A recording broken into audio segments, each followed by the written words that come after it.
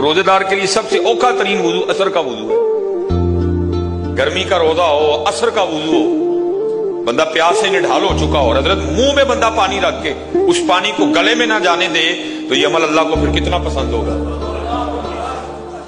कि अल्लाह अपने फरिश्तों के सामने कहते नहीं होंगे फरिश्तों देखो मेरे बंदे को।